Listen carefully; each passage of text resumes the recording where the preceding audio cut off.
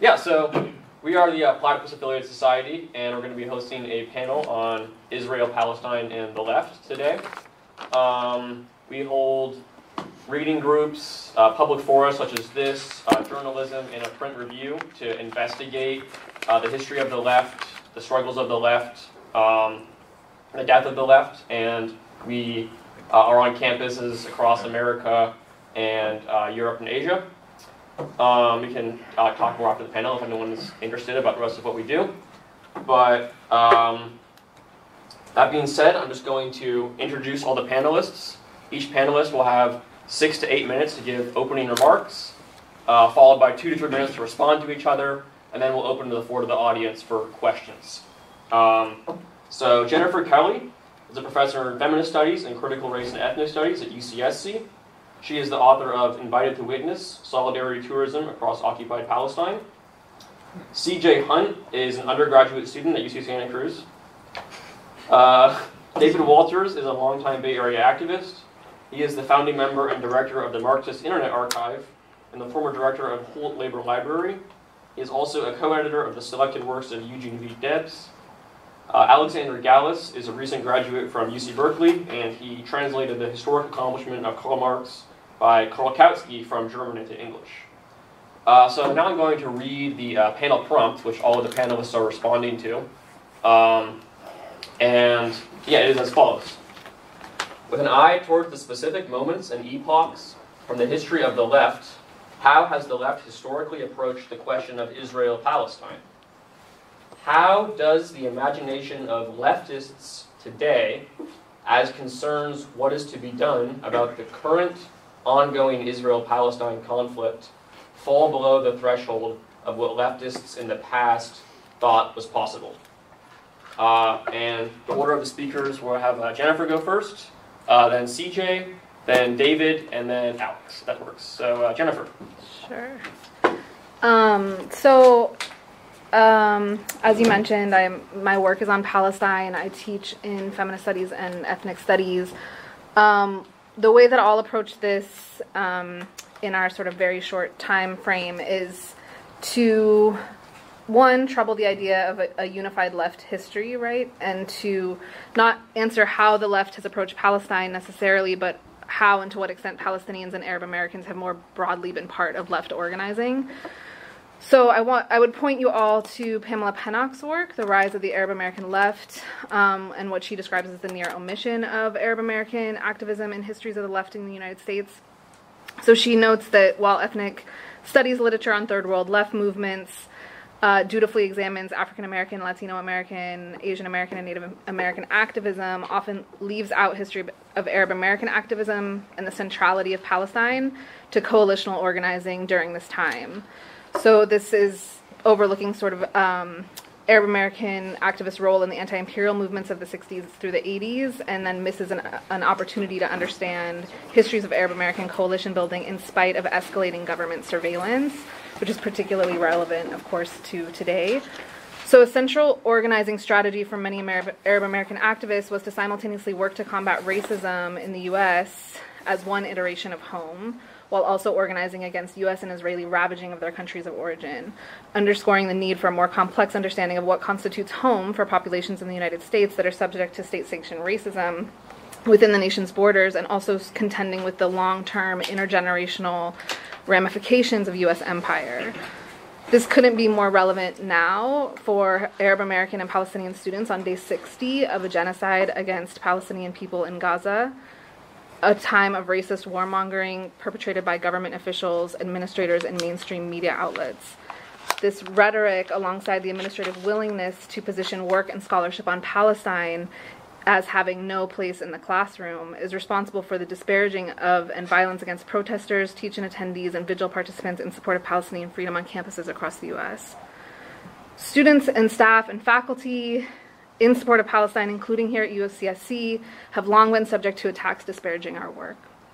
The scope and scale of intimidation and threats grows every day. We know that universities are under immense pressure from trustees, alumni, and donors to be perceived as pro Israel, even at the cost of violating academic freedom and free speech rights. Students nationwide are under increasing threats and attacks, including from university leadership that refuses to protect them, from harassment instead actively punishes them for speaking up, from employers that fire them or reverse decisions to hire them, from the US Senate, which has dangerously equated criticism of the state of Israel with anti Semitism and called pro Palestine students morally repugnant, and House Resolution 894, which passed last night and dangerously conflates anti Zionism with anti Semitism.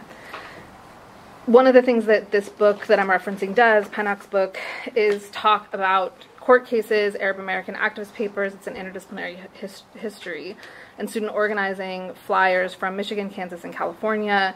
The effect is a sort of cumulative revealing of the depth and breadth of Arab American activism from 67 to, until the first Intifada in 87, and the tensions and collaborations and coalitions of Arab American activists and between Arab American activists and other activists of color in the United States.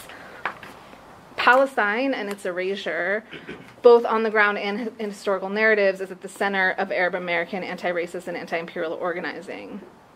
At the same time, Arab American actors are centered, central to the story about Palestine solidarity organizing, right?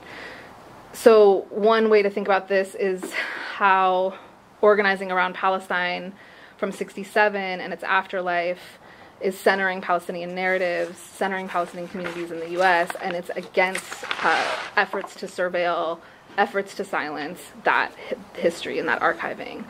So there's a long sort of history of Arab American student associations as they sought to place these questions at the center of their organizing against colonialism, against US imperial rule, Organizations like the Association of Arab American University Graduates fielded critiques that their work either focused too much on Palestine or not enough on the, on the rest of the Arab world or was not sufficiently focused on identity and rights for Arabs in America.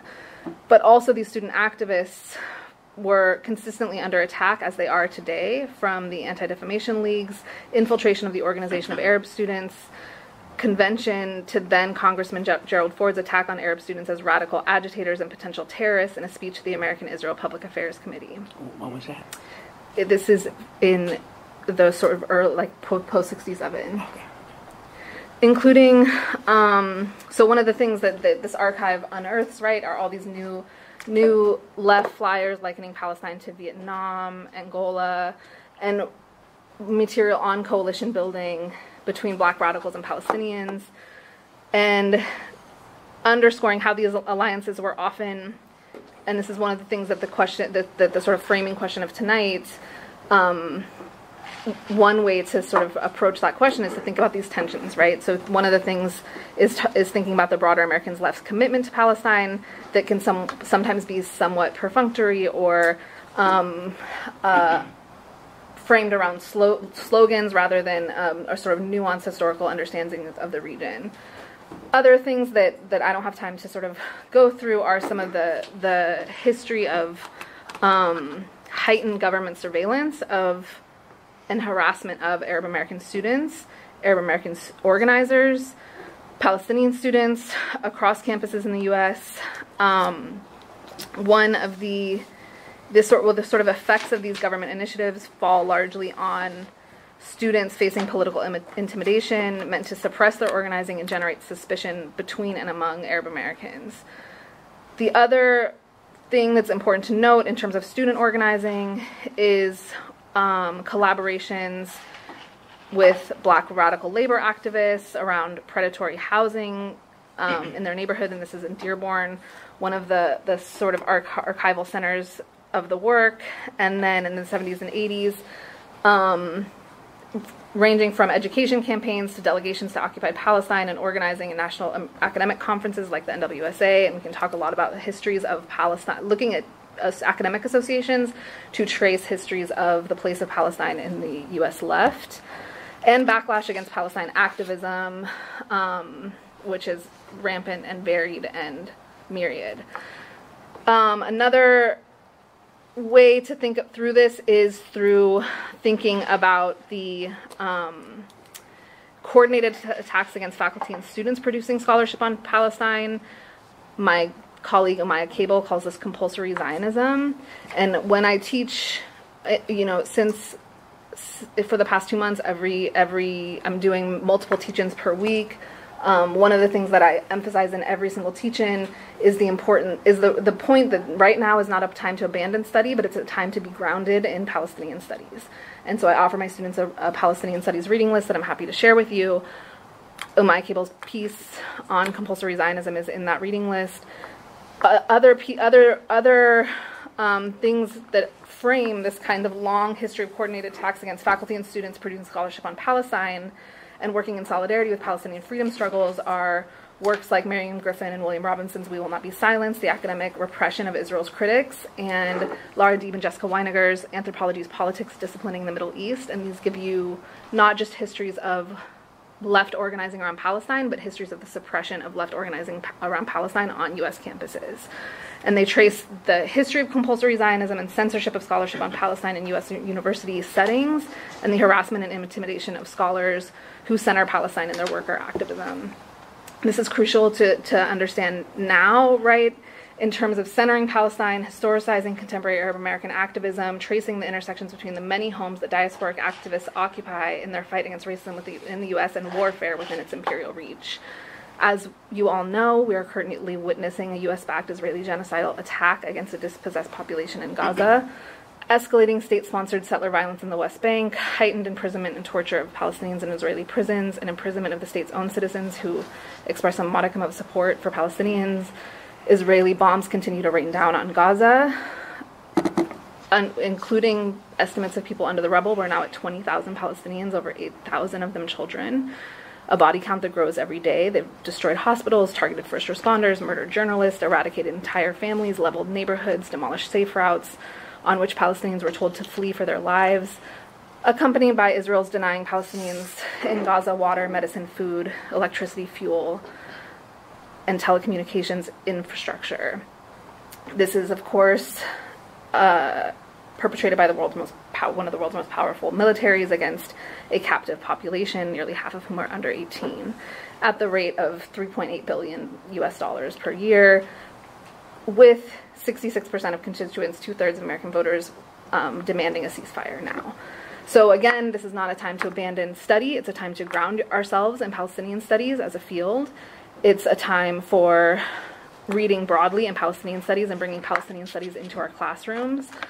It's a call for educators to follow our colleagues at Birzeit University who have asked for everyone to take seriously the call to, quote, fulfill our intellectual and academic duty of seeking truth, maintaining a critical distance from state sponsored propaganda, and holding the perpetrators of genocide and those complicit with them accountable.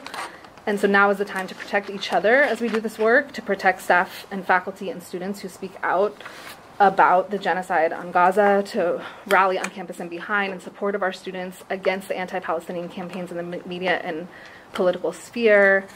A time to do this work, right? To remember that discomfort is not danger, to commit to protecting each other under attack, being honest about Israeli state violence, especially in this landscape of hate mail and doxing and censure and censorship and campaigns to get people fired and media blackouts. It's incumbent on us as scholars to protect research and scholarship organ- and organizing on Palestine in every corner of our intellectual and political lives. Thank you. All right. Uh, thank you, Jennifer. And now we'll have CJ. All right. Um, well, in the first place, I think perhaps two humble notes. Firstly, I have no idea why I'm here. I have no expertise whatsoever to speak of on the matter. Um, all I can think is that I think Kevin vaguely likes me, and I suppose I give a token student perspective. Second of all, I think what you've said is, is quite correct and quite important. I've been cautioned by the platypodes not to discuss current events, only to stick to history. Uh, but of course, current events are history. Um, there is a genocide ongoing.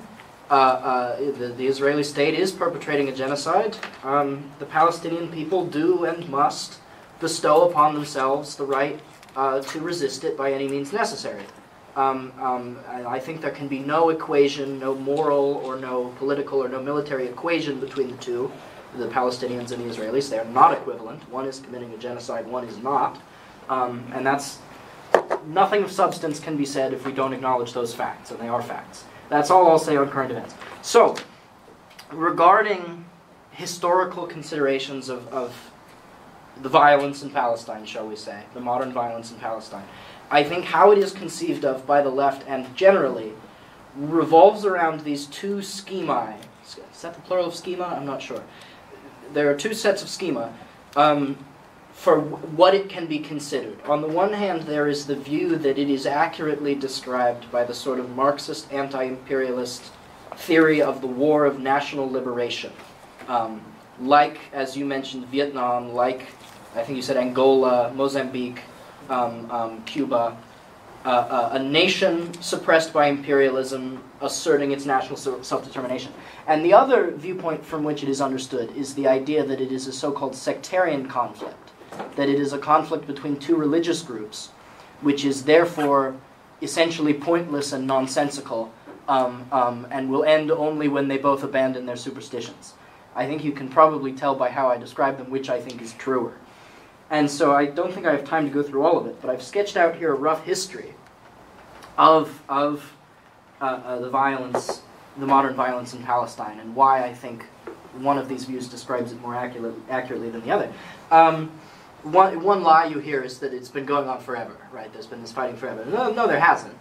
Um, it's been going on since the, the imperialism of the Ottoman Empire, the sort of proto imperialism of the Ottoman Empire, was replaced by British imperialism. The Ottoman Empire, at least nominally, constituted itself as a caliphate, um, not as a nation, but as a, a universal religious authority. And so it explicitly rules its subjects not as a national institution, but as a, a, a an institution endowed by God in a kind of pre modern political framework. Um, and because of this, the revolts of Arab peoples during and before World War I, and subsequently uh, uh, the taking over of Palestine by the British, first as a military administration and then as a League of Nations mandate colony, quite explicitly were framed as um, we are not a religious group, we are national. Um, Turks and Arabs, we might both be Muslims, but Arabs are in fact a nation. And the, you know, these Turkic sultans can't say they're in charge of us just because we're both Muslims. No, no, no. We are a nation. The Arab revolt founds itself on that idea. And in the same way, at least nominally, the purpose of a League of Nations mandate is to prepare a territory for self governance. So, explicitly, the rendering of Palestine as a League of Nations mandate is to say this is a nation which exists. It is the you know, of course, this isn't actually what the imperialist powers wanted, but this is what they said. It is the duty of, of the, the occupying power, the British, to prepare this nation to be sovereign. Except that the British, right before they take it as a, as a mandate, you know, take the, the Balfour Declaration and say we're not going to prepare it to be sovereign for the people who actually live there. We're going to prepare it to be sovereign for our own Jews because we want to get rid of them. Um, it was essentially the essence of it. And so the resistance to that, once again, is not framed as an Islamic resistance to Judaism. It is framed as a, as a um, an Arab national resistance. The first documented Palestinian self-determination groups are the Muslim Christian associations, right? The very name indicates that this is a secular, multi-religious grouping. Um, the 1936 to 38 revolt was not led by any kind of Islamist formulation. It was led by Arab nationalist formulations. Um, um, in 1948, there were some Islamic fighters. There was a, a, group that called themselves the Holy War Army. So obviously that, you know, is a is a tacit signal to to you know jihad perhaps or, or to I suppose to a crusade. I don't know if they were Muslims or Christians. I don't. That's not that's not important. Um, but the vast majority of, of the motivation here is is pan-Arab. It is this idea that there is an Arab nation, um, or a Palestinian nation, or some combination of the two. Uh, once again, the Six Day War and the Yom Kippur War, who do we see most enthusiastically supporting the Palestinians? Not fanatical Islamists. Um, people like the Egyptians, right? Pan Arabist uh, uh, governments. Now, now, do I think the Egyptian government was, was great and wonderful and progressive? No, not really. But it's, it's, it's erroneous to frame this as a sectarian war because quite explicitly they were fighting on the basis of liberation of a nation. Um, so then the PLO was founded in 1964, the PFLP in 1967, uh, the Democratic Popular, Popular Front for the Liberation of Palestine 67, Democratic Front for the Liberation of Palestine 68. These kinds of sec- explicitly secular, explicitly Republican, explicitly vaguely left wing um, fighting organizations define Palestinian resistance for the next several decades. Uh, uh, and throughout sort of the 60s to 80s, as the Soviet Union, which had always sort of bizarrely va- it had always vacillated on the Palestine question, and maybe we we like Zionism, or maybe we don't, and we'd we'd rather the Jews, you know, resettle in a in a, a communal structure which we've set up in Siberia, but they don't want to do that because um, Siberia is cold. Um, and so on and so forth. As the Soviet Union stops being the world leader of the left and there start being these new, more radical communist formulations, we see outpouring of international solidarity for Palestine, especially for the PFLP, um, from Japan, from Colombia, from the Americas. Once again, not from Islamists, but from Marxists, who especially are in solidarity with the PFLP uh, uh, and are concerned with this idea of national liberation, this idea that either there are two nations in conflict which must, res- must resolve this conflict, or there is one nation and there is a colonial project. Um, so again, not sect- not sectarian violence. It's only really okay. My point is, in the long term, um, it's a very recent development that this has been rendered as a sectarian conflict, as a supposed endless war that has gone on forever and will go on forever between Jews and Muslims, and it's basically stupid. Um, and I think that has led to, to a lack of imagination and a lack of belief in the people that actually live in Palestine to be able to pursue freedom. Um, um, notably, because the, the prompt asks about what is possible, I want to kind of query the, the dogma of the, the so called two state solution. The idea that because there are these two sectarian groups that fundamentally hate each other, the only possible way for there to be peace is a massive wall between them and for them both to live in, in states fundamentally defined on ethnic and religious lines. I think that displays a profound lack of imagination and also a sort of infantilization of the people that actually live in Palestine on either side of the wall. Um, you know, they're not fighting because they're stupid or ignorant or hateful in some intrinsic way that other people aren't. They're fighting because of material circumstances. Remove the material circumstances. Arabs and, and Jews are both perfectly capable of living in a secular, democratic, free society. And that is the only genuine hope for, for, for, peace, I think, which is what has been proposed always by the Palestinian left, by their international comrades, is one democratic, secular, united, and independent republic in Palestine, which is not founded on this myth of perpetual, you know, sectarian and racial war, but is actually founded on a nation of people have material problems and we must fix them. Um, yeah, I wrote rather more notes than I meant to, but that's, No, that's, that's, that's, my thesis. that's good. CJ. Thank you, CJ.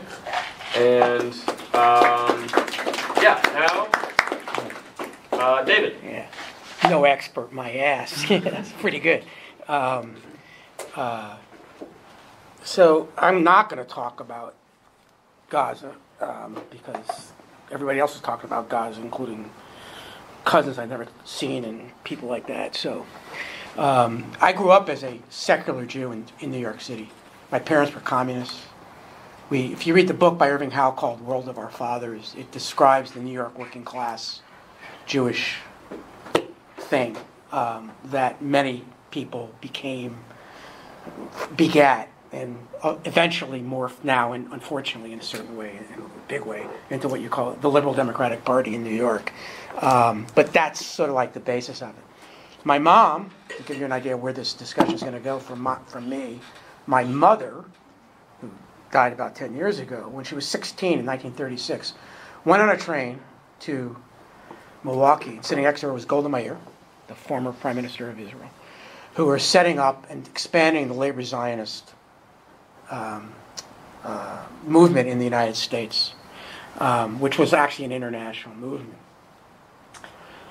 Among Jewish Americans and among Jews everywhere, nobody gave a shit because American Jews were not Zionists. And this is one of the mythologies that you'll get from the Jewish establishment, especially Israel, but especially in the United also in the United States, that there's this intrinsic thing because you know in the Bible, in the Old Testament, Moses, which most Jews don't give a shit about the about the Torah, the first five books of the Hebrew Bible. They do not care. They don't care what Moses said in Exodus. They don't care about what was written there.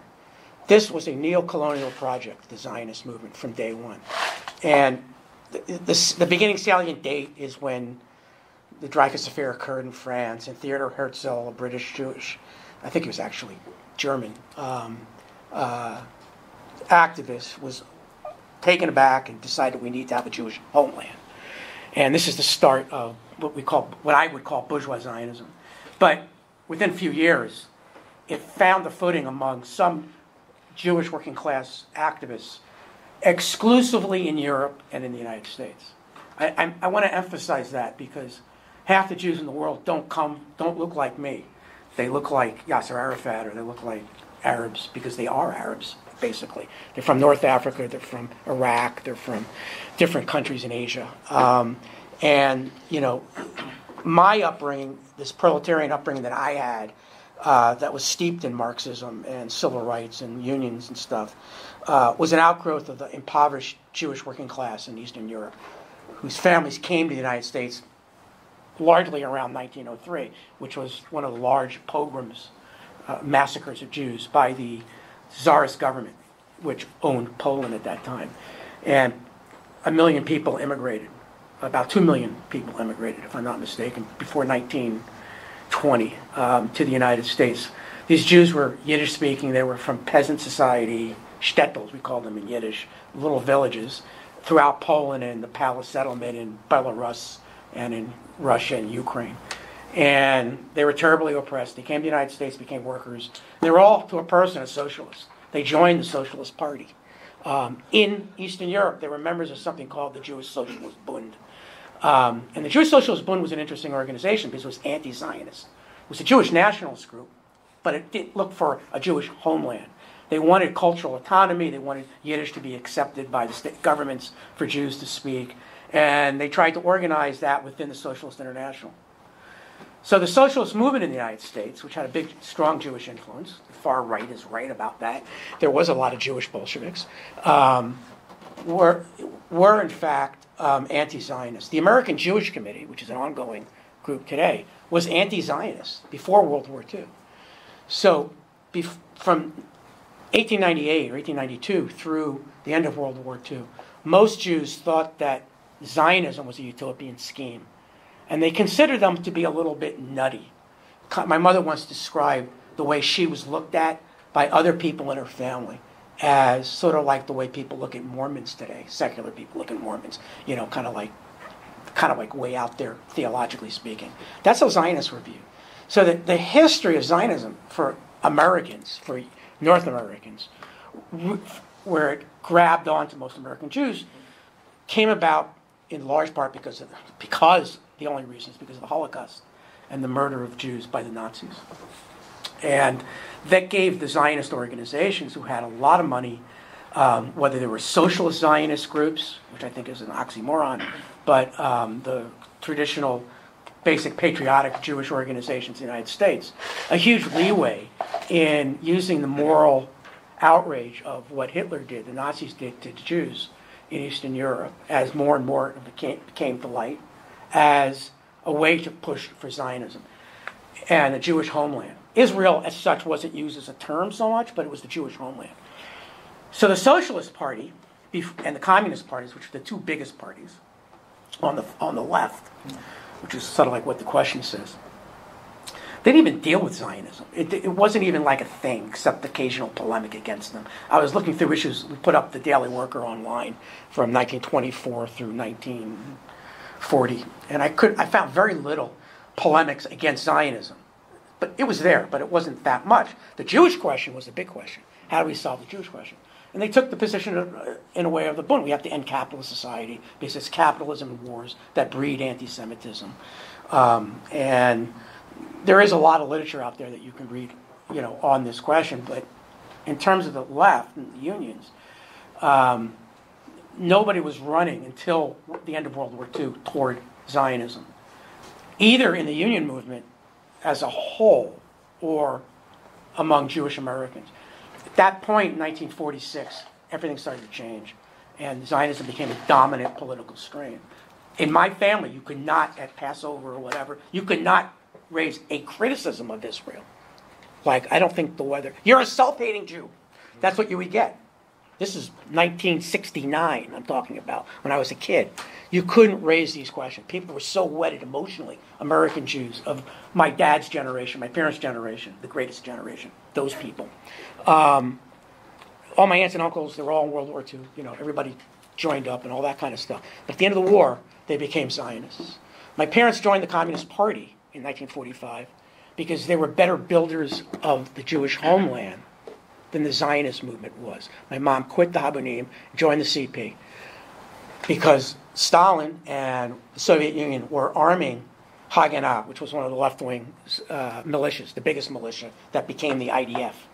And um, they ran guns for Haganah out of Czechoslovakia, uh, organized by the Czechoslovak Communist Party. There's a lot of reasons for this, a lot of which was the influence of the communists among Jews, both in Israel but also in the West. And they wanted to. Uh, One finish. Oh, that's going up? Okay. Um, and so this is how sort of like Zionism became such a thing in the United States, and it was because of World War II. Um, just lastly, um, Jennifer and also uh, CJ mentioned that 1967 is a salient year. It was a six day war. It put Israel on the map for everybody when they beat the three armies of, actually, it was four, because it did include Iraq.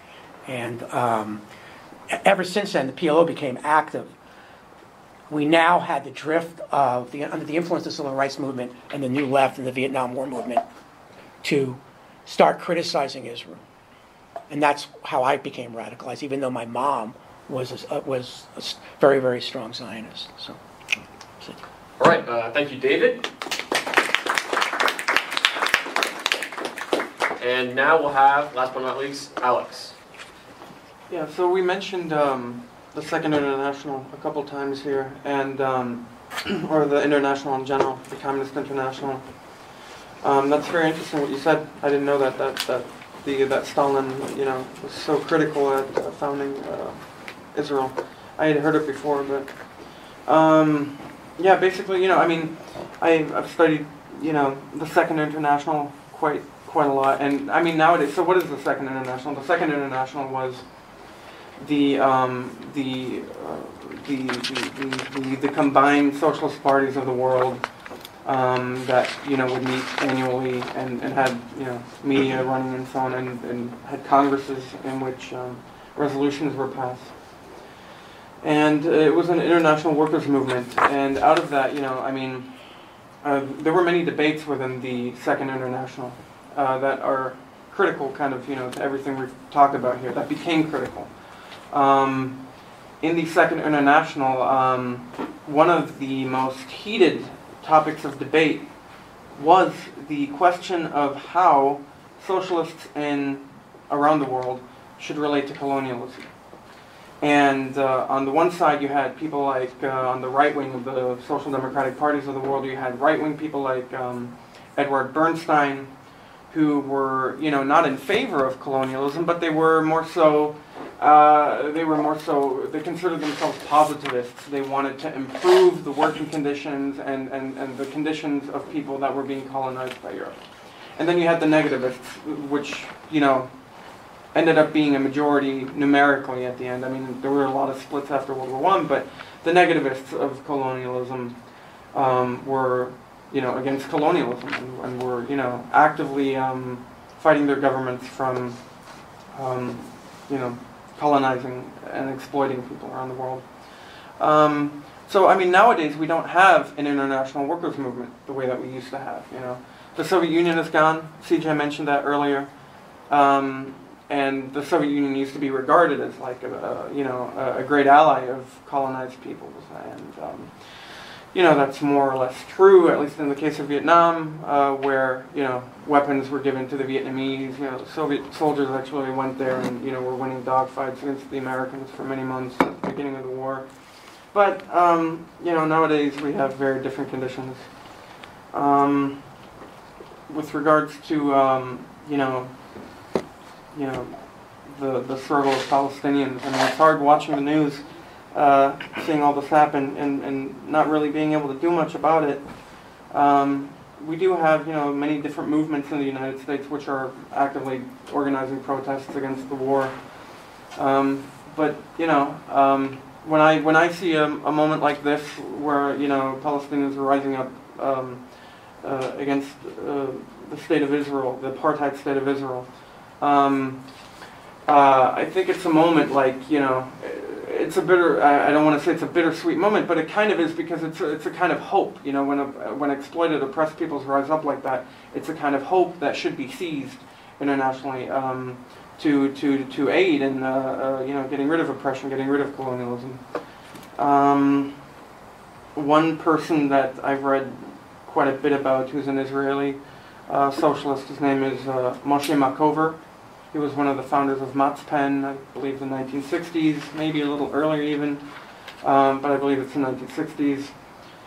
He, uh, he was an Israeli Jew, is an Israeli Jew who lives in uh, the United Kingdom now. He's been expelled uh, repeatedly from the Labour Party in the United Kingdom for his views on, you know, Zionism. He's an anti-Zionist uh, communist.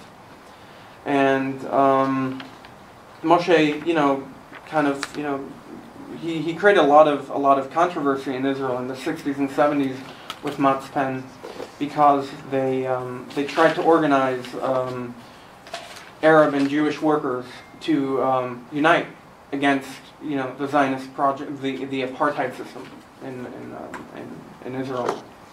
Um, and you know, unfortunately, that project failed, like a lot of leftist projects have historically. But uh, it's something that I think is inevitable. If, if there's going to be a change in Israel, it's not going to come about, in my opinion, through military means. Although I'm not going to condemn, you know, military actions of oppressed people because it gives, you know, brings attention uh, to the problem. Um, the, the fact that Palestine hardly exists anymore nowadays. Uh, that, that the West Bank is completely colonized and, and is being, you know, the Palestinians are being removed, uh, jailed by the tens of thousands, as we're seeing in the news. You know, Hamas uh, and the Palestinian authorities are, are exchanging one uh, Palestinian uh, prisoner for, you know, or one, one Jewish uh, prisoner of war for a thousand Palestinian prisoners. You've got a few more minutes. Okay, cool. Yeah. So, you know, um, I think the relationship between Israel and the United States and, and the West is kind of important to, to go into, uh, which is that um, why why do we have this project Israel, um, and why does it still? I mean, it's one of the few few you know actual um, not exploitative but expropriative colonial projects in the world right now. That's brazenly just taking land and, and, and kicking people off the land, not just you know. Uh, it, it's similar to what the United States did to Native Americans in this country, uh, kicking people off their land and using it instead of you know going there and, and like a lot of European colonial projects historically did, uh, using the native population as labor and so on. You know, um, trying to civilize India or whatever.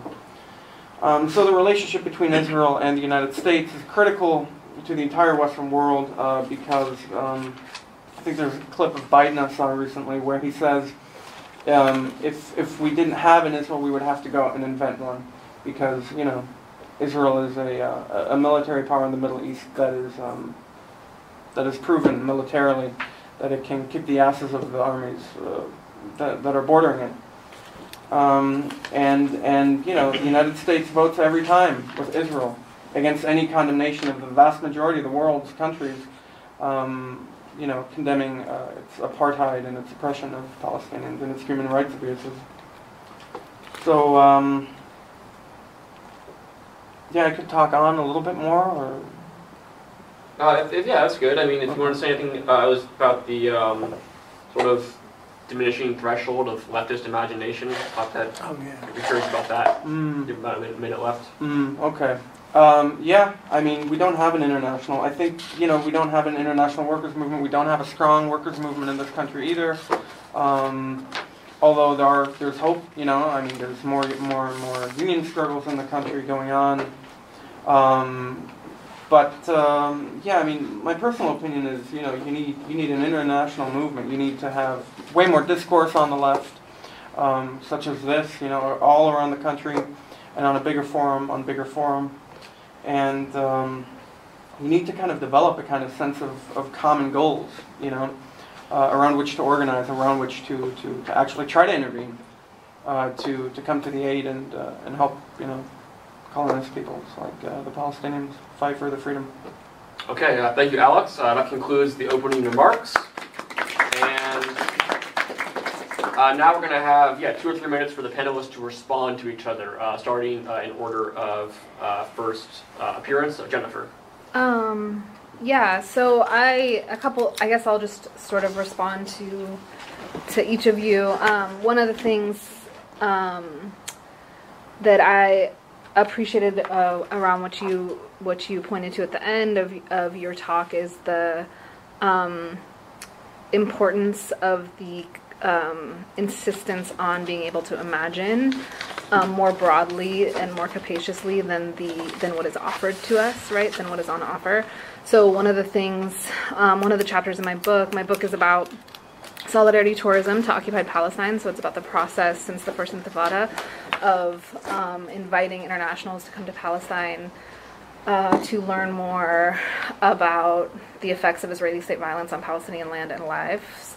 And one of the chapters is about the work of anti Zionist Israeli organizations inside Israel's 48 borders, working with um, West Bank Palestinian organizations to imagine a future post the realization of the right of return. So, post when Palestinian refugees can return to their former homes, of which many of them have the keys, right, to their initial homes that they were kicked out of in before, during, after 1948. Um, and part of that labor is imagining, for example, what a um, university space would look like, what a what the village would look like. Talking to vi- refugees from that village and thinking like, how do you want to? Where will this like flower bank go? Where will this this fountain go? Where will this apartment complex go? How will we live in this space? And I think the insistence on the capacity to imagine that is something that Palestinian, and this is again why we need to be grounded in Palestinian studies because it's something that Palestinian scholars have long um, articulated not only in the historical record of displacement, but also in the insistence on what is possible. And so to hold on to that, and then another part of of the um, book deals with virtual tours in Gaza, and one of the virtual tourism projects in Gaza was a collaboration between an Indiana University um, college class and a and a university college class in Gaza, where students identified 250 sites of relevance and talked about what it would what a Gaza 2050 would look like post liberation what a Gaza 2050 would look like if it were allowed to embrace those sites of historic importance what a Gaza 2050 would look like if all those 250 sites were preserved and if there were freedom of movement from Gaza City to Jerusalem and freedom of movement from Jerusalem to Bethlehem and what it what it would look like post liberation and I think right now that's devastating, not only because Israel has decimated every um, university in Gaza, but also what's important, I think, to follow up on this question of hope is to insist that that is possible, insist that Palestine will be free, insist that there will be a moment when we will be able to talk about freedom of mobility and the sort of right to something like hosting tourists in a, in a place like Gaza, in Gaza and specifically. Um, the other, the th- what I want to uh, highlight from your talk is the importance of knowing that the importance of debunking the idea that Zionism is a default Jewish position, right? And and the importance of of the insistence that since Zionism there has been Jewish anti-Zionism, right? And and that it isn't the it isn't what the U.S.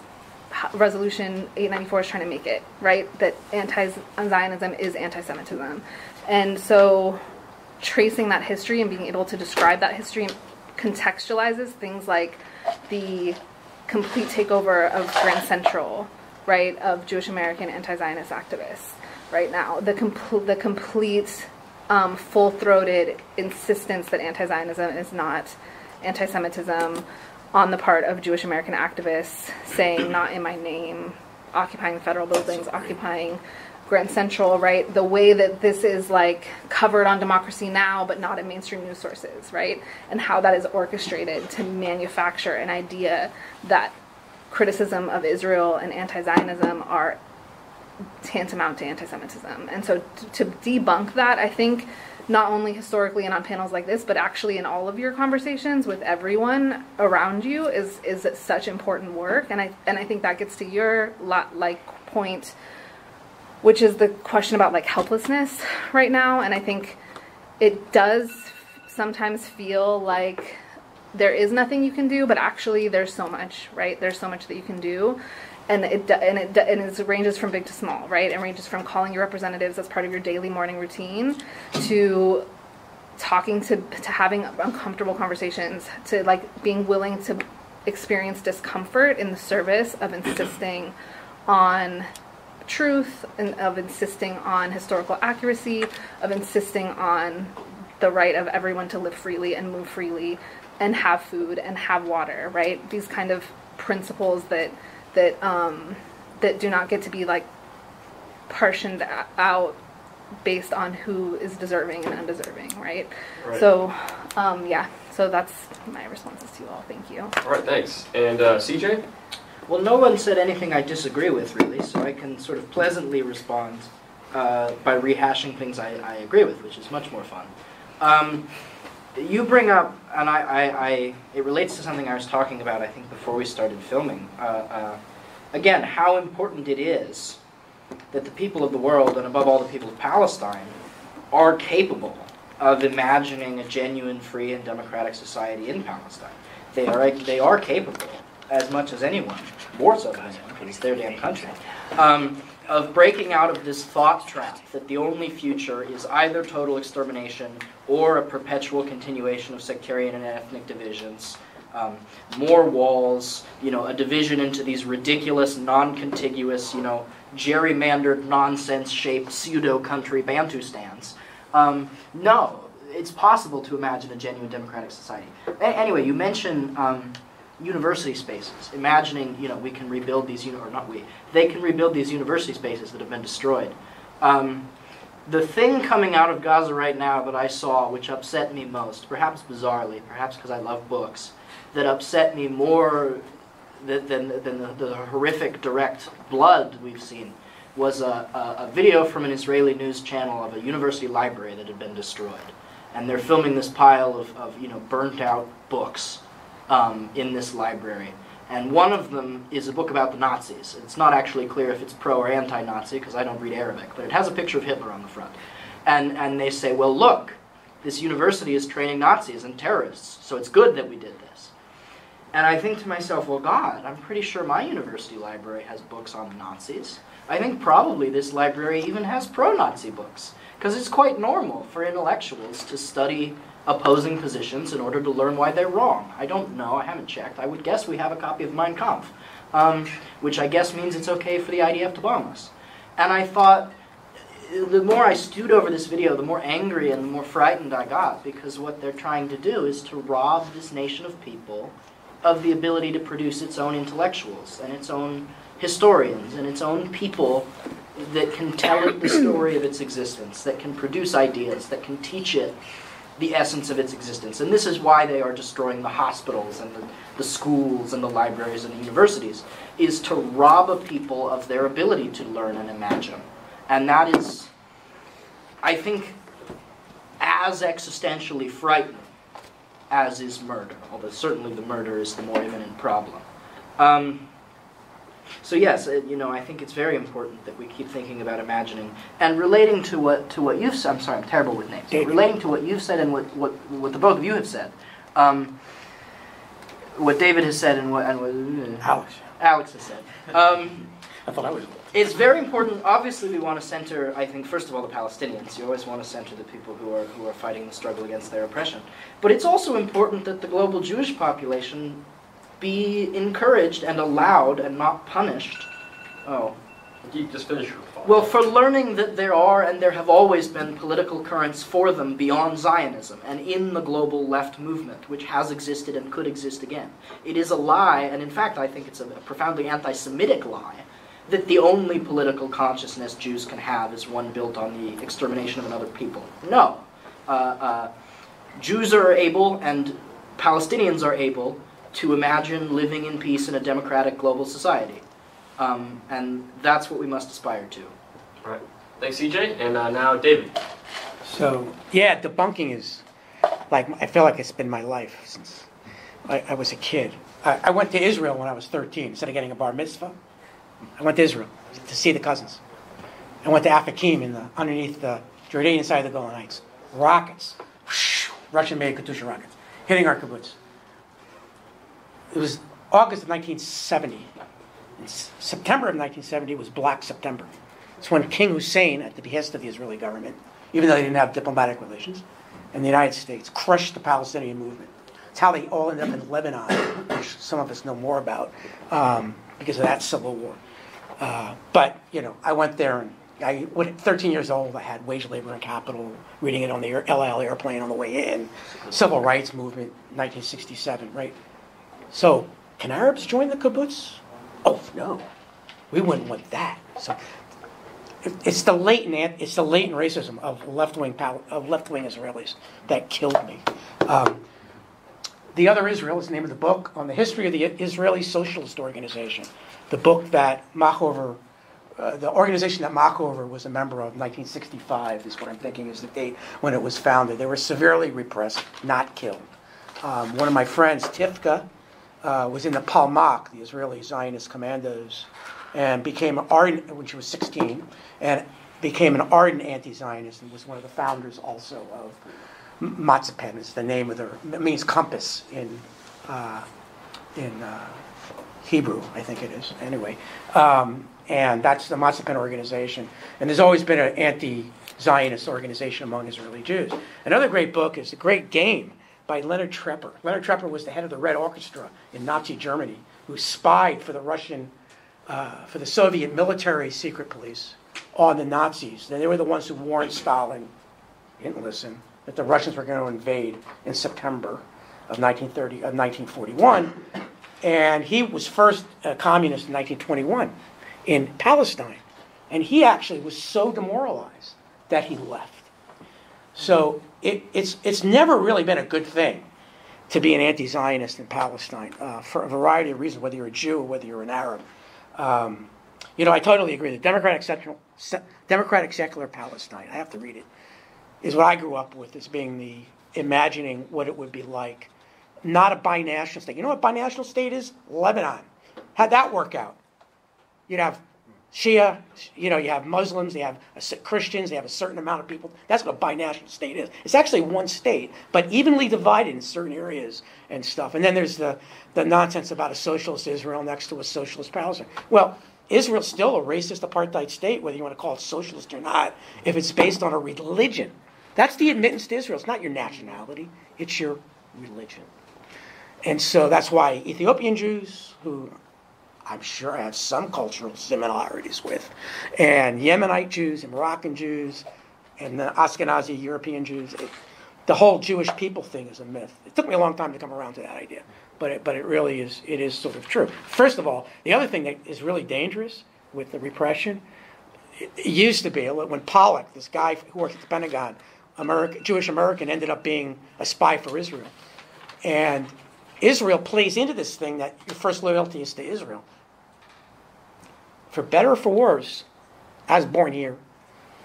I'm an American, Jewish hyphenated American, and just like all of us are, and um, and or you become, or your children certainly are, for better or for worse. Um, and it's yeah, I, I keep going back to that thing about Israel and Jews, and it just. So. All right. Well, thanks, um, David, and uh, now Alexander to respond to any of your fellow panelists uh, with the prompt or what they've said.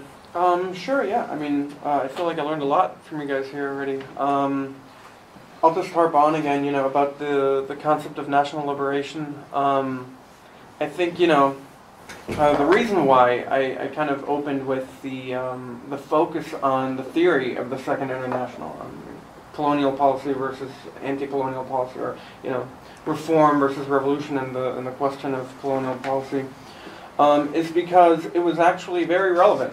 Mm, because in 1917 um, and, and that whole period, the three years after, there were many revolutions all throughout Europe, uh, Asia, um, which, you know, overthrew colonial uh, powers uh, that were governing them.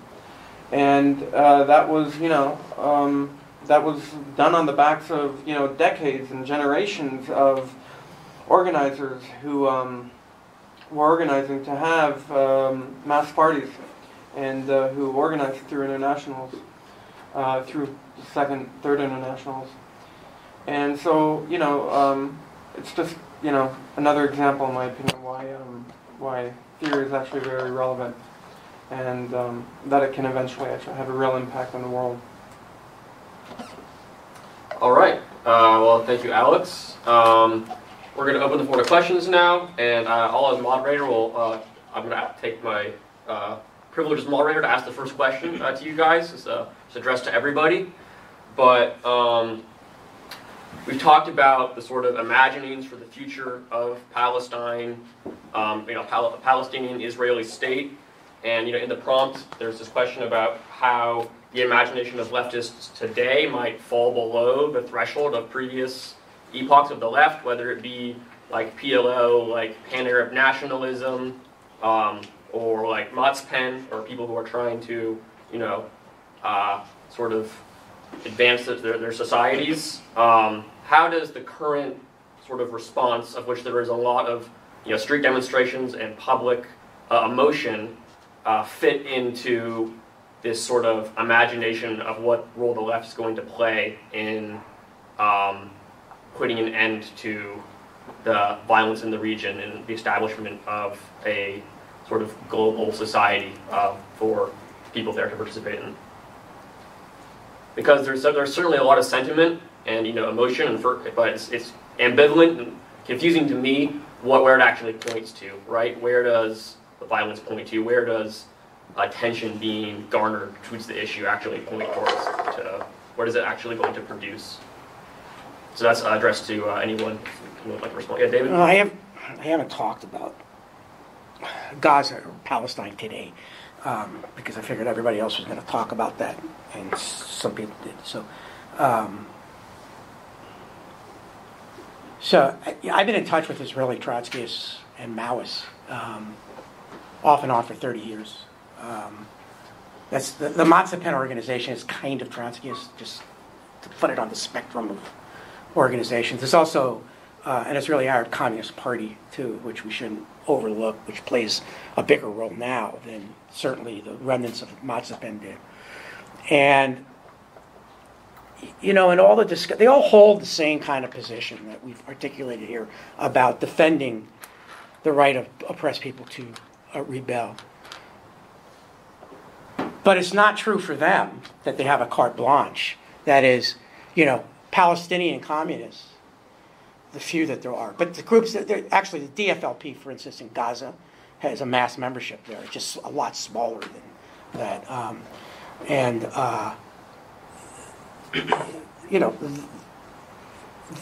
they've understood. I've talked to their leaders 30 years ago when I was in New York, and um, you know, they understand that this is a very important question from a military point of view, not just the military, the IDF, but the fact is that Palestinians represent a slight majority over the 7 million Israelis that are there. And the real problem is, is that the biggest working class center in, the, in that region is in Tel Aviv. And they're, ma- they're, they're, all, they're mostly Jewish. Um, and uh, CJ, or perhaps Jennifer was right when they said, one of you said about the apartheid nature of the regime. Um, it's true apartheid in Israel. Unlike South Africa, which was the petty apartheid and social apartheid, everything about racist South Africa, 100% of it was based on the exploitation of black labor. They could not do without it. Israel has taken that to a much different conclusion, 180 degrees. They don't want to, they do not want to exploit Arab labor. The Histadrut and the labor Zionists in the 1930s, Histadrut is the Union of Hebrew Workers in Palestine, and still a union today, much reduced, existed so that owners of Jewish factories would fire their Arab workers and hire only Jewish workers. This is not a legacy anybody who was raised in this country thinks is a good idea, especially progressive Jews who, by default, support Israel. And you know, debunking again. I can't get away from it. But the imagination is how to get to the democratic secular Palestine from now to there. And it's a hard question. I said there's 7 million Israelis. Most of the oppressed majority don't live inside the political entity that they're trying to take. They're on the outside. This is unique. I can't think of anything else that's close to that in history. And the workers' movement had to deal with the questions of national liberation. I'm a Leninist. I support, well, I support Eric Blanc's understanding of Leninism, which is well, of self-determination, which means really the right of agency to decide for yourself how to proceed and liberate yourself. But to do that, in my opinion, in the opinion of communists I've talked to and to um, groups in the in Gaza, but also in uh, in Israel, in other places, you have to win over a, a minority of the oppressor nationality in order to do this. I wouldn't say that about South Africa. Who gave a shit what white people's opinions were? None of them were working class. It was a small Afrikaner working class, but it was not relevant. In Israel, it's a really tough situation. So, you, so in an, uh, an article in this World Outlook, Peter Seidman, a staunch anti-Zionist, said, "Look, does Hamas's actions on October 7th, this is the nitty gritty of the thing, does it help or hinder that motion toward national liberation. Now, I can make the cases that it does. I can say that it mobilized the Arab street all over the Middle East, all, in, all over the Middle East and North Africa and Europe. A real positive thing, but I can't say that, that my cousins won't talk to me now. Dafna, Rit, you know, Yaniv, my son knows who they are, um, because of my position on defending Palestine. But they were very open to all these kind of things until October 7th. So you have to look at this when you when you defend the regime, you defend the right of oppressed to rebel. You also have to look if you were a communist, communist if you were a, a, national liberation fighter and you want to see this dream, this imagination come to f- fruition. How do we get there when seven million people now really hate your guts? They believe everything, you know, even the nonsense about the babies being bad and all that. It's a, it's a tough question. I do not have an answer for you. I'll be honest with you, I don't have that answer. Does anybody else on the panel want to address? CJ? So, uh, modern imagination. I think I've been sort of vaguely present in the in the international left response to the current genocide. I was in San Francisco uh, when I believe it was they said 40,000 people were marching down What's It Street, um, led by the PYM. Uh, uh I think, again, you know, I've tried to emphasize this difference between understanding a war of national liberation as something that can be won and can conclude in justice, as compared to a sectarian conflict, which is something that, first of all, doesn't really exist, and second of all, is necessarily perpetual and unwinnable and unlosable and has no right side and has no wrong side. Um, I think the international left is breaking out of that, even Jewish people I know, a lot of them, in fact. Um, and is kind of coming around to this this um, idea of national liberations, this idea of, of something other than the continual perpetuation of a supposed racial and religious uh, uh, stalemate, um, or complete extermination, as the case may be. There's increasingly the concept you hear is not the phrase national liberation, but the phrase decolonization which in practice I think comes with a lot of the same meaning, and certainly pe- most people that would support the one support the other. Slightly different philosophical forebears, right? People are talking more and more about Frantz Fanon. Um, wonderful thinker, absolutely applicable to the Palestinian situation. Um, I do think, though, the concept of decolonization, although this isn't actually in the work of great philosophers like Fanon, it comes with this kind of baggage about the concept of indigeneity. And these perpetual debates about who is indigenous, who is not indigenous. It, first of all, is there a Jewish nation? Second of all, is it indigenous? Is anybody indigenous? You know, are they both indigenous? Is neither indigenous? Are they maybe both secretly the same people? Um, I think that's a dead end politically. I think we should stop debating who was there first. Um, because it, it, in the end, it's an idealism. It's a reification of a, of a memory of something no one remembers. Um, nobody knows who was there first. Probably not someone who would have recognized either the concept of, Arab or the concept of Jew, right? Probably a Canaanite, and that's not what they called themselves. So what what the hell is the point of who was an indigenous? I think you should analyze it as a material situation where you have an oppressor and an oppressed, um, and maybe forget for a second about oh who was there first. I don't really care. Um, uh, uh, uh, I also think on the subject of imagining democratic secular Palestine, I think a lot of people when you say that, we'll ask the question, well, that's all well and good, but you can't deny that if the Israeli government collapses today, um, the largest and most powerful Palestinian political movement is Hamas, which is maybe they might say they are in some sense democratic, but I think a lot of people would disagree, and certainly they would not be, be considered secular. Um, I think it's, in relation to that, it's worth stating, first of all, yes, it's true. Hamas is, is at least in Gaza, the largest and most powerful Palestinian political group. Um, but it is not ubiquitous and unopposed in the way Israeli media has, has put a lot of money into making us think, right? There's a, there's a, like the Wikipedia article for the current violence says 2023 Israel Gaza or Israel Hamas war, which is just factually inaccurate. There, there are secularists and Democrats and communists who are also fighting. They're smaller groups, but they're not necessarily tiny. Actually, the DFLP is, is pretty It's big. big. Um, second of all, nearly every response, nearly every proposal of, of um, decolonization of Palestine that you will hear in the Palestinian left. First of all, it doesn't involve let's kick out all the Jews and make them go home. Uh, you know, I've, I've seen it happen. If you go into Palestinian political organizing spaces among the Palestinian diaspora and you start saying that shit, they go, please shut up. You know, we're not. That's not what we're about. Um, no, nobody's interested in your sort of political role play of, of making all the Jews go back to Germany. Nobody actually wants that. Um, and then, second of all, uh, overwhelmingly demands for decolonization involve the idea of the diaspora going home. Um, you know, they were evicted unwillingly. Many of them still have the keys to their houses. They know their addresses. Before they were evicted, they were an overwhelmingly peasant people, which means they had a very close and intimate connection to the farmlands of the villages where they lived. So there's hundreds and hundreds and hundreds of, of Palestinian clans and families around the world that want to go home. And they have all kinds of diverse political beliefs, right? They're in the PYM, they're in the PPP. All these Palestinian political organizations which aren't in Palestine, but have a reach within the Arab world and the Palestinian diaspora and intend to go home. And I think when we see them all go home, that is when we will see this really big flowering of diverse ideas about what a democratic secular Palestine could look like. And will there be bloodshed? Will there be struggle? Oh, absolutely. But isn't there already? Um, Uh, audience, anyone have a question they'd like to ask the panelists? Uh, Patrick?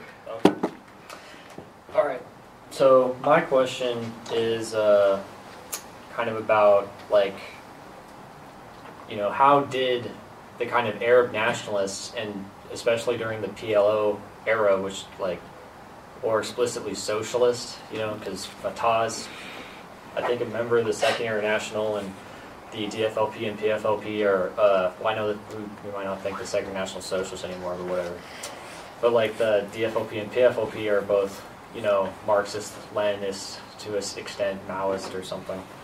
So, like, how come that was like the like the leading force, you know, like meeting with Bill Clinton and the Israeli Prime Minister and stuff, like trying to hash things out, and now it's like, uh, how did Hamas or Islamism more generally kind of take over? And I know in like the West Bank, Fatah is like still in power, um, but you know, kind of similar to Hamas, uh, they are not very popular as a political organization. It seems like Palestinians don't really like anyone who rules them.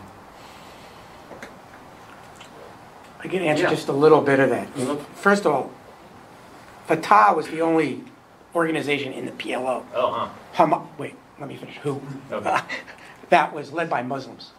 Uh, uh, Fatah, uh, Yasser Arafat's a Muslim. Every single other organization, including the one sponsored by Syria, the Palestine Liberation Front, there's, it's like the American left, just split all over the place, except they all have guns, um, which is a good thing. Maybe we shouldn't be armed here, but uh, the um, they're all Christian led. Habash is a Christian, um, former Habash, head of the PTFLP. All of them were were Christian led, and this, which means that their their general origin is in Ramallah on the West Bank. So here in the diaspora, in the Bay Area, they're a large, the biggest single community of Palestinians are Christian Palestinians from, uh, many of them were, were from Ramallah. This is old. This is like from 25 years ago when I was working among Palestinians. It was completely people from Ramallah who supported vaguely Fatah. Hamas got big because Fatah was corrupt, is corrupt. The, P, the Palestinian Authority leadership has mansions in Switzerland. The money went from the United States to Israel to them, to the bank accounts. Everybody sort of on the West Bank knows this. Ram- guess who won Ramallah? Christian city. Hamas won Ramallah. Because of the corruption. And when Hamas, the other thing is when Hamas won the elections in 2006 in Gaza, they won with a plurality. They didn't win with a majority. They haven't had an election since. Why? Because Fatah, with the support of the United States, tried to have a coup against them in, in 2007, and less than a year later. So this ended up resulting in Hamas suppressing Fatah. They did not, my understanding is they didn't suppress the Democratic Front for Liberation of Palestine. Um, they, when one of their leaders died about two years ago, there was like 45,000 people in the street with red flags marching. So there is this real left that goes on, in, you know, um, in, in, in there. But Hamas, you know, just one more thing. I mean, I think the, the influence of Hamas has been really bad. And I, I say that because I'm a secularist. When I went to the West Bank in 19, when I was 13 and when I was 14, women had their hair out. They wore dresses. They wore they dressed like Israeli women to a large degree. They Palestinians were the most secularized Arab-speaking people in the world. They were also the most educated people. You go back today, and the influence of Islamification, which has, it's more than just Hamas that did this, but people who are Palestinian should probably speak up more about this, have influenced them. In my opinion, obviously not in their opinion, because they're they've adopted is, Islam more as they once did, which was passively Islamic, passively Muslim. So you know, um, so I'm, I'm not a fan of Hamas, but they are the ones who did this and set this thing off, regardless. By the way, the, the Hamas's flag, green, right? They don't fly the they don't fly the Palestinian flag. You, I, I didn't see one in the video that Hamas put up. The several videos when they hit uh, the kibbutzim and all that. They were all wearing the green bandanas. Some people were wearing Palestinian flags. Not, I suspect they were not Hamas. You know, um, so that's that's actually a big fight difference in, in Gaza and on the West Bank. Hamas is winning. Uh, any other questions from the audience? Uh, yeah. Uh, yeah, one thing I've heard you refer to often is uh, deaths of the left and Mhm. like uh, how they're no longer around. Uh, I was wondering like what exactly you, you meant by that. Like, uh, is there like an instance where it died, or is there like something you can point to where it like went out? Because that kind of. Uh, I'm not a panelist, um, but perhaps Alice could take that on. I'll answer that maybe. Yeah, I'll Please. try to answer it. Um, I've seen I that. mean, um, yeah, the death of the left. I mean, you know, um, in, in my mind, the death of the left is, you know, I mean, is, is, uh, most no- notoriously, it's obviously associated with the fall of the Soviet Union because with the fall of the Soviet Union, you know, and all the monies that were given to the communist parties around the world, that didn't exist anymore. and It was in your face, and, and, and you know, literally, communist parties around the world just shut up shop and went home. Everyone went home, so there weren't a communist anymore overnight. You know. Um, but but I mean, of course, you know their progression is, uh, historically. You know, 1968 destroyed the morale on you know uh, the the Tell 'em what was. 1968 was the um, was the suppression of the Czech um, Spring uh, Oh, yeah, that's rebellions. where the tanky thing came from. Right, exactly. yeah. Right. And so, you know, I mean, there were there were many, you know, incidents where the Soviet Union, as the leader of the left in the world, you know, increasingly, you know, over time, um, acted in ways that, you know, the international that demoralized the international left, that demoralized people who were trying to build a better world, you know, who were idealistic. Um, and so, I mean, the death of the left, you know, I mean, another way that I think of it, the death of the left, is the fact that the left is, you know, splintered into a million different groups. You know, and I mean, since the fall of the Soviet Union, that has, you know, gone crazy. You know, um, so I mean, we'll see if it changes or not. I think it's going to take time to, to, to keep having discourse and so on, and, and you know, to develop programmatic unity on a large scale, which you know, just takes time. But but the death of the left, that's that's what it means to me. You know, like that we're not powerful anymore, like we used to be. I. Right. Uh, maybe I'm gonna- CJ and or Jennifer. Uh, You go. Yeah, I'm gonna add um, some things just to return to this what I keep sort of emphasizing in terms of grounding in Palestinian studies, and one of them is, um, in to your question in terms of histories of Hamas, um, Tareq Baconi's work and then Somdeep Sen's work are both recent histories to consult. The other is this question is the question of indigenous studies, which is actually crucially important to Palestinian studies, and the the there has been a robust um, emer- a robust literature around the utility of the frameworks of settler colonialism in relation to Palestine and indigenous studies in relation to Palestine. And one of the questions is um, the way that Veracini and Wolfe, scholars, famous scholars of settler colonial studies, um, have the utility of those frameworks for analyzing Israeli state violence at the same time as the um, importance of indigenous studies for doing work on Palestine. And so, authors um, who there's an entire special issue around the question of settler colonial studies and indigenous studies in Palestine. Rana Barakat work is on the importance of indigenous studies as a framework not to and the way that it, settler colonial studies and indigenous studies are not synonymous and they do different work um, Brenna Bhandar's P, um, and Rafeef Ziadah's work, a short piece on the settler colonial studies in relation to Palestine and indigenous studies, um, Nour Joudah's work, Leila Sharif's work. There are so many Palestinian scholars and Palestinian studies scholars and feminist Palestinian studies scholars who do the work of um, talking about indigeneity and talking about Palestine and talking about the the um, way that indigenous studies has shaped Palestinian studies and the way the Palestinian literature and scholarship has engaged with indigenous studies. And one sort of example from my field work, um, which was in 2020. Um, 2019 um, what is a moment at the at the wall um, in Bethlehem where um, one of the solidarity tour guides was talking to a U.S. A white U.S. tourist who um, he was talking about the sort of papering over of Israeli names over Palestinian names across historic Palestine, and she was like uh, expressing horror at that, right? And he said, "Well, what is the what is the name of the indigenous land on which you live?" And she said, "Well, I live in Baltimore or whatever. Like, I don't, I don't. It, there is no indigenous name." And he asked, "Where are the indigenous people where you live?" And she said, "They're all dead." This is, and this is to to your sort of um, point around thinking about indigenous studies as or thinking about indigenous land back movements as past versus current, mm-hmm. right? So the the indigenous people on the land on which she lived are not dead, right? They have um, a robust organizing um, tribal affiliation 30 minutes from her house, right? But she imagined, so in, in her own critique of Israel, she gets to um, exonerate herself of her own settler identity and practice.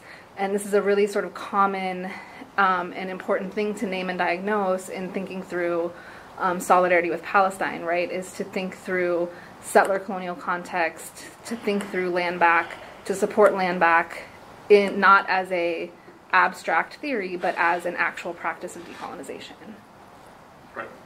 Right. What's Can Uh, be very yeah. brief on the death of the left? Sure, CJ. Yeah. Our estimable hosts, the platypodes, have a thesis that the left is dead. Um, I do not agree. I do not agree. Uh, uh, you know, we have ongoing Communist Party-led guerrilla wars to build socialism happening in India, in Turkey. Um, um, Philippines. you know, yes, and in the Philippines, the, the communist-controlled areas are the only places where you can have a, a labor union without getting shot, where you can have a gay wedding, where you can vote um, for who runs your, your farm or your, or your workshop, uh, I would argue that that's very much a living left. And of course, in Palestine, right, the PFLP are actively shooting missiles at the enemy. I think if you told them they were dead, they would laugh at you, and then uh, you know they'd probably shoot a missile at you. They wouldn't. They'd be friendly, but but they would say that they're not dead. Um, that's that's so far as the left is dead. No, it isn't. Uh, Kevin. Uh, yeah, I want to maybe jump off uh, that question and also what CJ brings up. Uh, so first of all, thanks to all the panelists for uh, the discussion so far. It's been quite lively. This will Uh, flesh out your question too, uh, just, just before you go too. Yeah. So, uh, so I have a Palestinian uh, friend, and I often tell him about my forays into learning about the history of the left. And this Palestinian friend is not a leftist by any means. And he always tells me, man, that's some bullshit you're on, right? Like, you don't really need the left and its history to argue for Palestinian liberation or solidarity today. And I often find myself at a, it's like hard to give a direct answer to him uh, on that question because, you know, maybe he's like actually correct and maybe I'm the crackpot who's talking about the left the death of the left or Marxism or anything like this. So my question to the panelists is, does one need the left and its history to argue for more exigent stuff involving Palestinian liberation or solidarity today? And if one does, what's the path from that to, say, world socialist revolution? Because the goal of leftists in the distant past was world revolution to inaugurate socialism. That seems kind of like a utopian, like the Mormons, like David was talking about. And on the other hand, if you, if not, if one doesn't need that, then what in your like lifetime uh, convinced you that uh, you don't really need the leftist ideology or history in order to argue for the liberation of the Palestinians? And here's where I thought uh, Jennifer's presentation and its sort of light on ideology aspect was perhaps from the perspective of this Palestinian friend, the most quote unquote honest.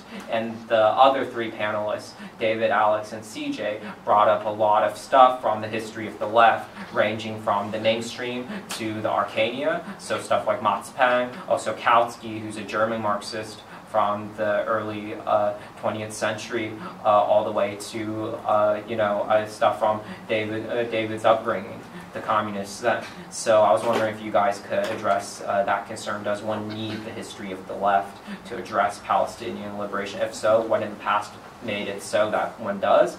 But if not, what convinced you otherwise? And I'd like to hear from all the panelists here on this question. Oh yeah. Um, Alex, actually? Okay. Go first. go with that. Um, I mean, the reason why I would say yes, you do need the history of the left. Uh, you know, I, I don't. I don't even want to say that you need the history of the left so much as to say that uh, the history of the left can be useful to um, organize um, a solidarity movement that can actually have a real impact um, in aiding oppressed peoples, like the Palestinian people. Um, so you know, I, I I think you know, it's in human nature uh, as a worker to to be uh, the reality of being a worker under capitalism. It makes you uh, need to be cooperative. You have to be. Um, I speak from my own experience. I was a worker, you know, since I'm 12 years old. I was working random jobs, and uh, it, it forces you to be cooperative. The reality of work, um, of modern capitalist work, um, and I think you know uh, the the power that the working class does have, you know, that it could have if it were conscious of it, um, is, is is a great power. You know, uh, I mean, you know, the other day I was reading that Netanyahu is really worried that all these protests in the United States and Europe, and and the the sentiment of of the populations of the West. Are going to threaten arms deliveries to Israel, which you know already the United States has uh, gone and taken a million shells and sent them to Ukraine a couple months before all this happened. And uh, so that's a real worry, and, and people do have power, you know.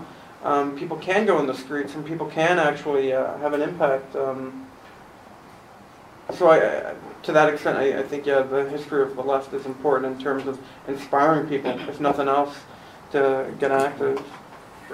David? Yeah, I agree with what Alex said about that. I think in the first one it brought up the question of a proletarian orientation because the problem with I, when when Platypus a few years ago came up with the thing about the left is dead. I, I- my first thought of who are they to decide that? Two, who cares? Three, I don't even use the word left. I mean, I told Kevin this a few times. I think I I when I was growing up, we didn't use the word left to the, the workers' movement which meant the labor movement and the socialist movement, or the socialist movement, or the Marxist movement. The left, the, the left has become a relative term. So, you know, Biden is now the left if you listen to MSNBC or C, CNN. It's, I just like, okay, fine. Because the ruling class can co opt anything. They co opted Black Lives Matter. Cadillac commercials with Black Lives I couldn't believe it. I thought I was watching this radical thing, like during Black Lives Matter. And it was that Cadillac commercial. So it's very easy to, for terminology to be called. I just say the, the workers' movement, the labor movement, the socialist movement, um, or I'll say the socialist left. So I just want to get that out of the way. But you're right. It doesn't matter. The class, Palestine would happen with or without the left. You do see what can happen when the left is weaker, because Hamas is not on the left. I mean, I don't consider it a left group. It's it when, when, when the leaders were interviewed, they said they, we reject the concept of national liberation. This is back in the day when they still hated Jews, you know, in their in their the covenant from 1988. But it wasn't. I never considered it a left wing any more than I do Hezbollah, which has suppressed unions throughout southern Lebanon. I mean, it's the Islamic groups are Islamic groups. Fatah, which was which is left wing, also was Muslim, but in a tradition of the 60s left wing Muslim groups, um, which the Syrian regime and the Iraqi regime co opted. Um, but, you know, the class struggle goes on. This is the key word. Class struggle happens whether or not there is a left or not. And new leadership will come to the fore to develop this. This happened in 2010 with the CSU struggle um, on all the campuses in California. It was the folk, the anvil for the class struggle in the United States was the, with the unions and the student movement against tuition hikes in the in 2000s. And it was a great. It was happened during Occupy. It, it, none of this came. None of that came out of the traditional left. We, my group, we, we were involved with it, and we did. Thought we did good work. Other groups did too. But there was a huge, like the, the rise of the, these the anarchist collectives, the rise of what was called the New Left, um, the struggle group in Oakland, um, there's groups in Portland and Seattle. So groups do come up. Whether or not they had the focus, the, Lenin talked about and what is to be done about, the, the whole point is to develop class consciousness. Say what you want about Lenin, think he's right on that. So the issue is to develop with the working class, to organize workers in unions, working staff on campuses, um, in the communities. That should be the orientation, not to sit around bemoan the issue that the left is dead. I because I, the reason I said that, I brought it up about platypus, is because I actually agree with them now. I think the, I just agree with I agree with Alex. All the internationals are dead. You know, all the, the most of the political parties, even the ones that appear really active, are not leading sections of the working class. PSL, which is the big group that organizes demonstrations, to name names, it, it, it did incredible work in organizing these things, but they, they, they, they're not leading anything. They're just recruiting people. It's, it's not the same thing. You know, they're not sending people to the unions. They're not going to Amazon organizing workers. And that's kind of what you need. You need this revitalization of class struggle consciousness. Uh, so, mm, so I think it depends deeply on who you consider the left and what you consider the left. And, and I think uh, several things. One is that people come to their politics in many different ways, and some people come to their politics through theory, and some people come to their politics through organizing and activism. And there are multiple different ways to come to your politics. I think one way into Palestinian liberation struggles is through feminist and queer organizing and feminist and queer histories. And I, it, it depends. So it's interesting to to to think about the positioning as the left like with that absented in a lot of ways. And one thing that I think is really crucial is that so in a in 2011 at a homonationalism and pinkwashing conference um, organized by Sarah Schulman in the wake of a queer delegation to Palestine, uh, one of the queer Palestinian organizers asked the audience, "Are you in solidarity with queer Palestinians or are you in solidarity with Palestine?" And I think that question is crucial, and it gets to the question that you're asking in a different way because it uh, what that question is asking is like, do you require a litmus test that is deserving of your solidarity? And that litmus test is um, certain books or certain theories on the on the what you consider the left, right? Or do you base your solidarity on support for freedom from freedom under colonial occupation, right? Freedom, colonial struggles for freedom. And so that question stays with me, right? Like, are you in solidarity with queer Palestinians? Are you, is your solidarity based on likeness? Is your solidarity based on a um, shared set of reading practices, right? Or is your solidarity based on um, a consistent critique of decolonization everywhere that you find it?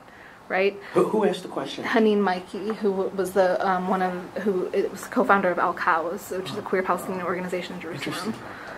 And So, I think that's um, a, a critically important question, and I think that it actually has to do with also this the question of of Christian Palestinian organizers, because a lot of times one of the the the um, one of the things, one of the sort of more surprising things in my research was the amount of solidarity tour, tourists who are um, Christian youth pastors in the U.S. And they're Christian, Christian youth pastors in the U.S. who come to Palestine to um, reshape their congregation's relationship to Zionism in response to Christian Zionism, which is ubiquitous and rampant in 80% of the Republican voting, voting bloc, right? And and John Hagee, who founded Christians United for Israel, spoke at the pro-Israel rally, right, on Washington.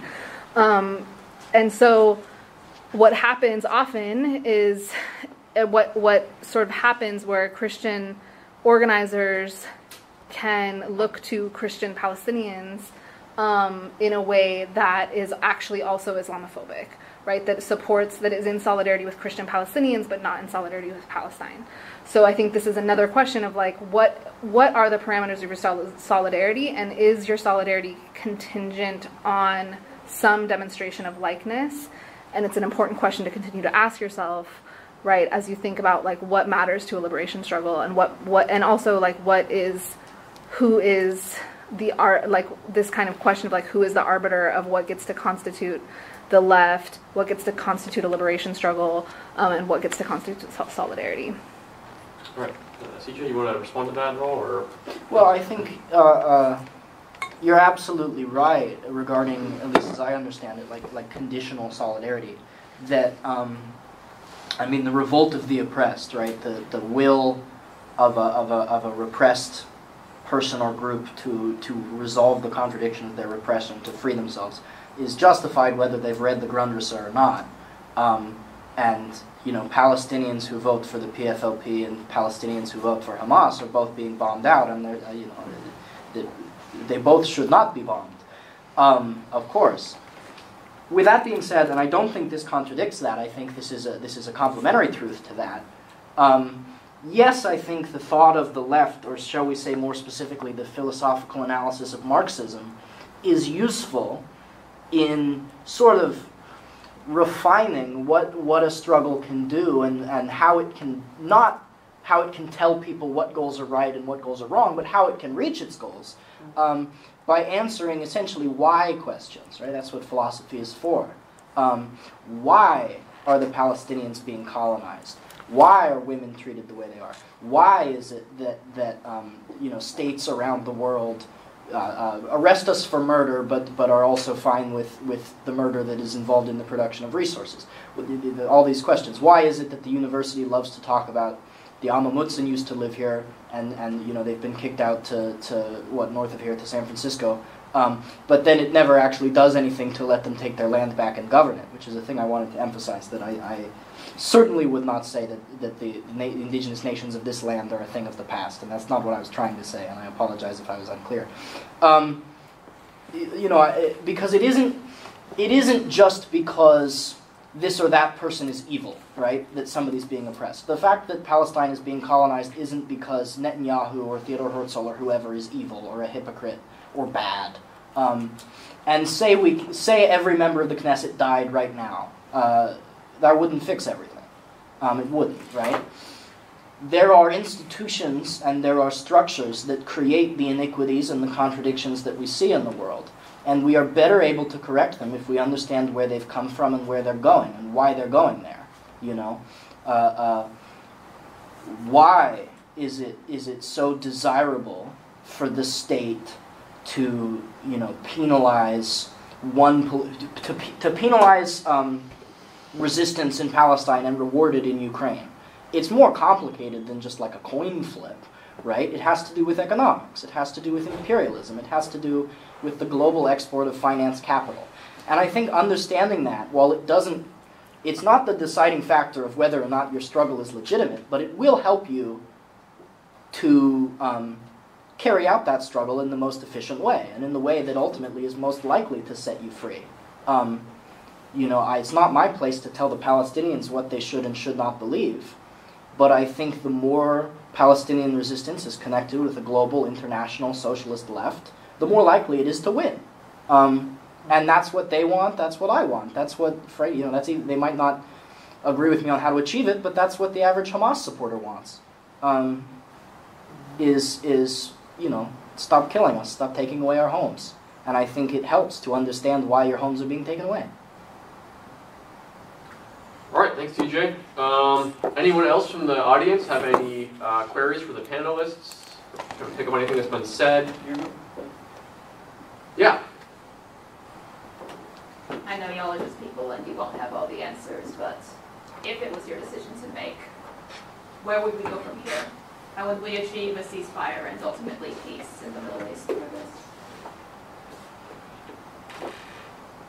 Notice I'm not sticking my hand up right away. For anyone who wants to. I mean, I think. It's, oh, go ahead. No, you go ahead. Oh, I just, I, th- I mean, I think I appreciate that you started with ceasefire, right? Because I think that understanding and immediacy in organizing is important work. Um, I think that the this sort of um, coordinated outrage, the pouring into the streets, the calls to representative, like all of this is indexing um, shifts. I can tell you uh, from an academic perspective, you know, I did my PhD in American Studies. Um, I started working on Palestine 15 years ago. The association, the academic associations that have started, that have supported boycott resolutions, boycott, divestment, and sanctions resolutions, have um, flowered since then. Right before, in the early, my early grad career, that was like unthinkable. Then there was all this organizing in my home association of American Studies to support the boycott resolutions, and then there was NWSA, and then there was an Asian American Studies, and sort of all of these. Um, critical ethnic studies and feminist studies and queer studies support for Palestine. So the terrain shifts all the time. The terrain is shifting all the time, um, and I think that that people are horrified and demanding a ceasefire immediately. The the short term of that is is I think all of the organizing that's saying like ceasefire and right ceasefire as a bare minimum. Um, toward liberation, right? And I think that there, I think the answers of this question again are in the scores of of literature Palestinians have produced on their own condition, and the the scores of literature Palestinians have produced on what the future of liberation looks like in Palestine. And again, one of the things, one of the reasons that solidarity tourism exists as a practice, one of the reasons that internationals come to Palestine to see for themselves what is happening in Palestine is because Palestinians are not believed as narrators, and Palestinians are not treated as reliable narrators of their own condition. So internationals have to come to see it to believe it in order to corroborate Palestinian narratives. And you see that right now, right? As every moment we're watching a genocide live streamed on Instagram, and and we're watching Israel bomb hospitals and universities, and hearing that Palestinians are bombing themselves right? And hearing that, and at the same time, the Palestinians are writing the names of their children on their limbs uh, so that they can be identified. We're hearing that Palestinians use their children as human shields, right? So I think all of the work of insisting that Palestinians be treated as reliable narrators of their own condition is incumbent on all of us. That's work that is incumbent on all of us, and that's work toward liberation as well. So I think uh, what we're what you're asking is pointing to a ceasefire now, but also pointing to a refusal, an, a, a commitment to intervene in that racist warmongering wherever you see it, right, in the service of liberation. A, a an insistence on reading Palestinian literature in the service of liberation. A, an insistence on looking toward how Palestinians in exile have described what their futures would look like post return. An insistence on doing that work, committing to that work, and intervening in all of the the warmongering and, and anti-Palestinian racism that that treats Palestinians as always already suspect. Uh, anyone else like to respond to that? Uh, Alex, Alex, 'cause yeah. Yeah, I'll just say real quick, um, with regard to what Jennifer just mentioned, um, the the kind of coverage of the war as you know Palestinians bombing themselves and crap like that. Um, that is, you know, that's a direct, uh, that's a direct result of the relationship between the United States and U.S. imperialism and Israel. So we're not, you know, I mean, a ceasefire, like, let's hope it happens. Like, call your senator, call your congressman, like, you know, just like, how else is it going to happen? Um, and support Palestinian voices in fighting, you know, fighting this, you know. Um, but, um, but beyond that, like, I think, you know, uh, as we've kind of discussed here, the state of Israel is an apartheid state, and you know it's it's, a, it's an ethnic, re- religious e- ethnic state, and um, you know I don't think it's going to be able to be uh, changed without uh, without significant changes in Israel, you know, to, to actually make it a democratic state, and it's going to take you know the seven million Israelis, you know, to actually accept that. So I, I Okay. you know, no. Okay.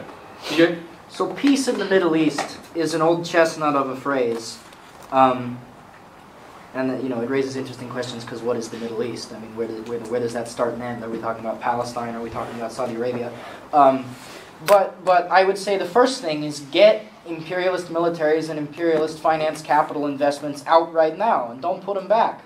Um, and and when the, you know when the Chinese and the imperial and the Russian and the U.S. imperialists have left, don't bring in new ones.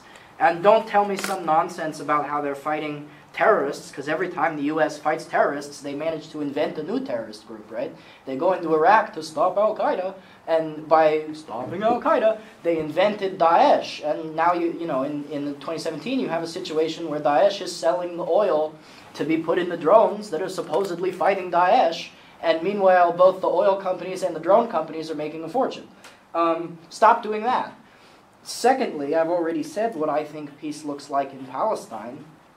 I think it looks like a singular, democratic, united, secular, independent republic, um, which is not constitutionally wedded to any one ethnicity or any one religion, and which is not built upon settlement and dispossession.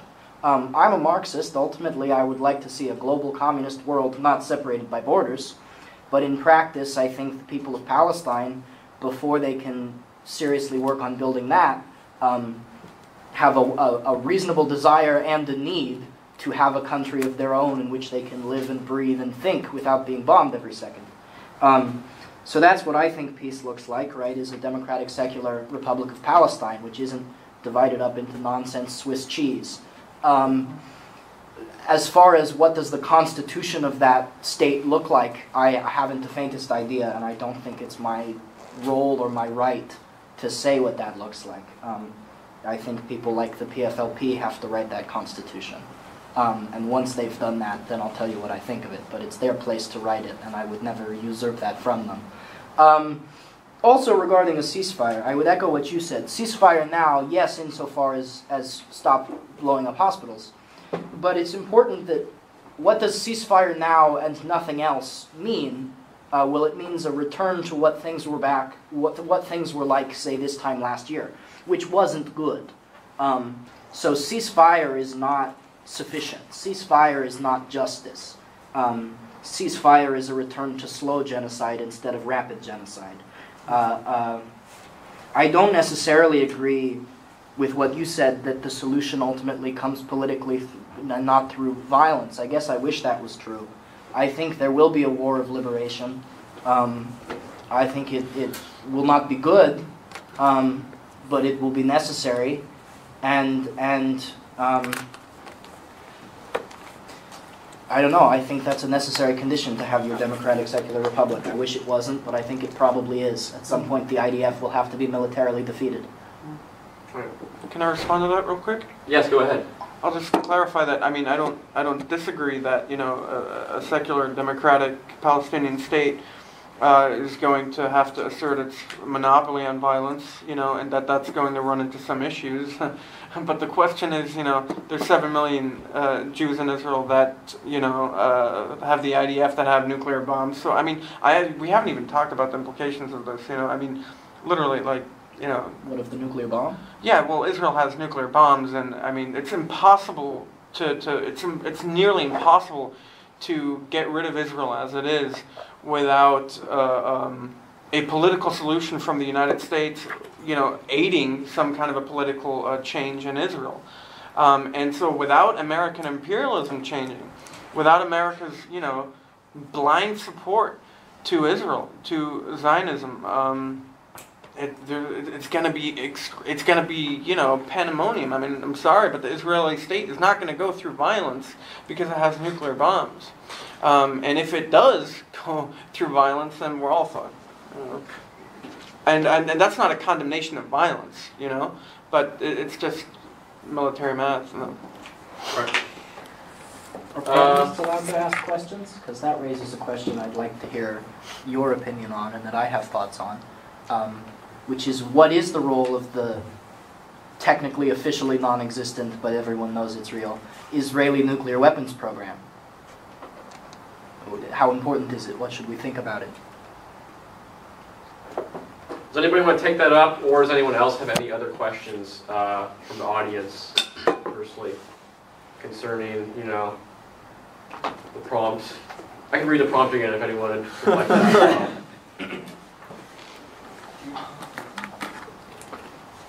Uh, we were just addressing her question. I think you left, Kevin. Would it be okay if you read the prompt again? Oh, sure, yeah. With an eye towards specific moments and epochs from the history of the left, how has the left historically approached the question of Israel Palestine? How does the imagination of leftists today, as concerns what is to be done about the current ongoing Israel Palestine conflict, fall below the threshold of what leftists in the past thought was possible? Um, Mm.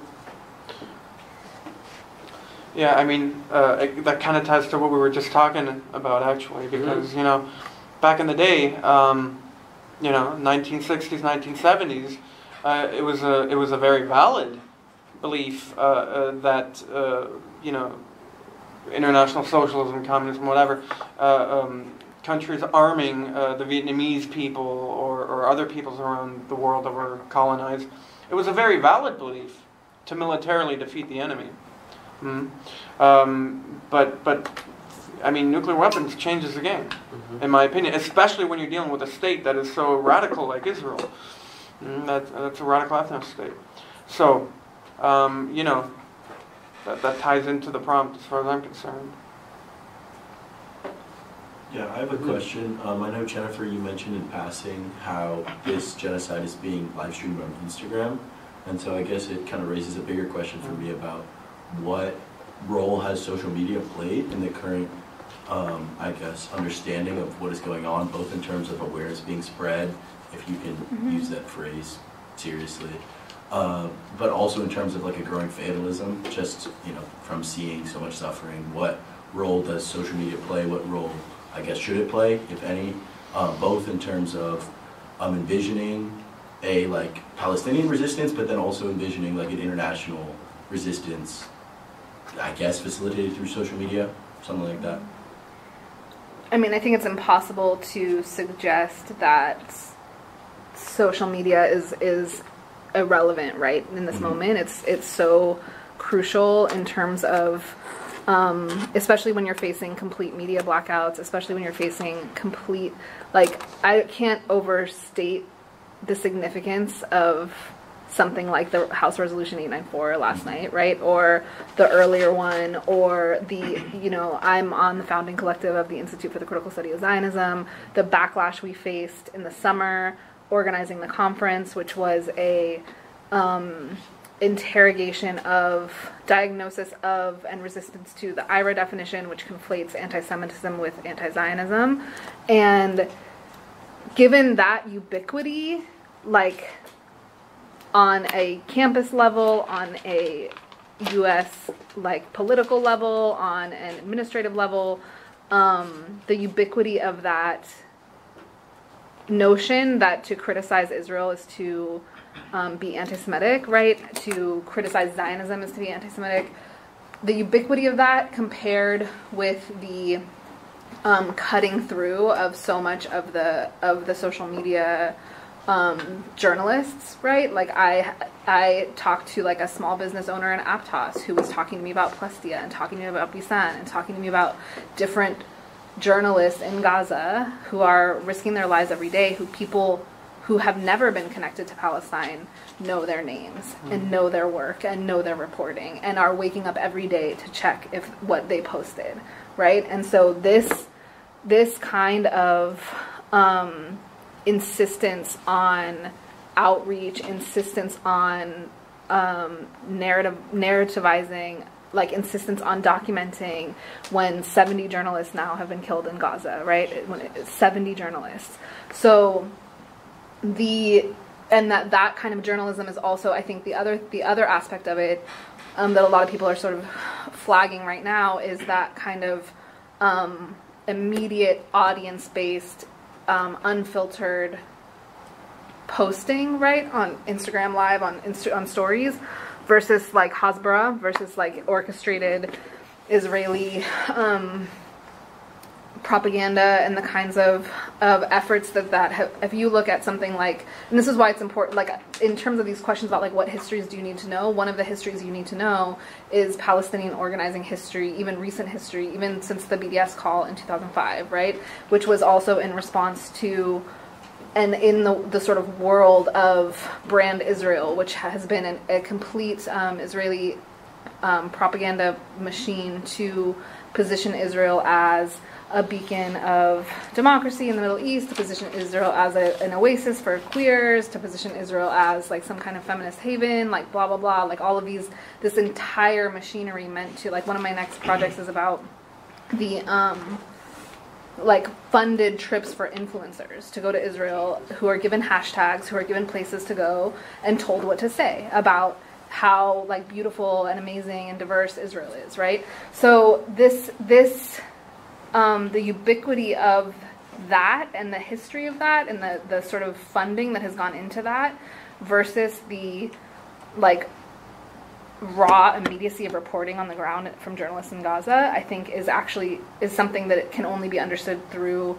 an, an analysis of social media. And the other thing that I would say to that too is, and this gets to like our own camp, and this is why this question of like helplessness is so important because as students, you have a right to demand what you learn, right? And so the like campus, I'm sure you all saw the. Um, the missive critiquing SJP for shutting down the intersection, right? And the missive critiquing SJP for shutting down the intersection was um, predicated on the weaponization of, of disability, was saying that like the SJP shutting down the intersection um, harmed our most vulnerable students. So speaking in the name of the most vulnerable students, um, weaponizing diversity to or weaponizing diversity and disability to sanction SJP, right? assume and in in the face of what was so beautiful, what was a, an entire group of people shutting down an intersection to create an ofrenda to talk about the, the those murdered in Palestine, right? And so, social media is not, is part of all of this, but it's also about. I think that it's. I think what we're witnessing is also a um, growing demand on the part of youth across multiple spectrums um, to insist that Palestine belongs in their classrooms, to insist that Palestine belongs on their campuses, to um, refuse to buy, buy into this kind of like one meme was talking about like dusting off 9-11 brains right like to refuse to believe to refuse it basically to refuse it and like that was one of the conversations that i had with with this person in, where i live which, who was just like not someone I would ever expect to be able to talk about my research with, but who was not only naming them by name, but also saying like, no one, we don't believe that anymore. Like we're not going to fall for that this time. And I think that that there's like a, a very real, there's something very real about that. And I think that that um, that social media plays an important role. And what I was going to say to connect it to sort of like demanding Palestine belong in your classrooms is part of part of the work of, of saying that it doesn't is this idea that's coming from the chancellors and coming from UCOP that we are not allowed as faculty to turn our classrooms over to politics, right? Or to turn our classrooms over to political advocacy, as though in the humanities and social science we do not always discuss what's happening in the world, right? As though we don't always pause class and talk about what's happening.